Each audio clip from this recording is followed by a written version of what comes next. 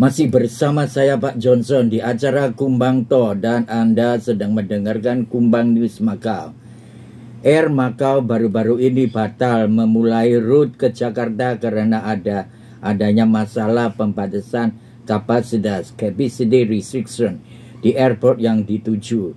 Bandara Udara Internasional Soekarno-Hatta berdasarkan surat penyataan yang dikeluarkan perusahaan penerbangan lokal yang dimaksud baru-baru ini.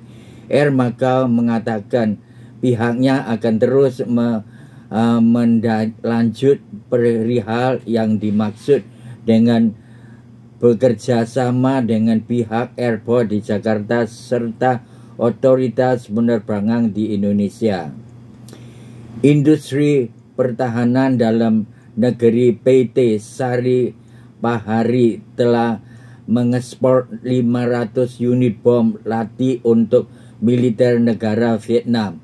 Salah satu produk yang dimaksud yaitu bom tipe P-100 Practice yang dikirim ke Vietnam pada bulan Agustus tahun ini.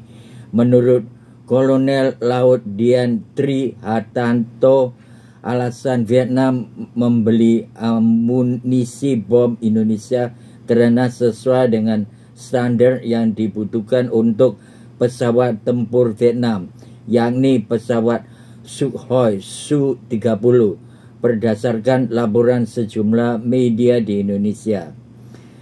Kereta cepat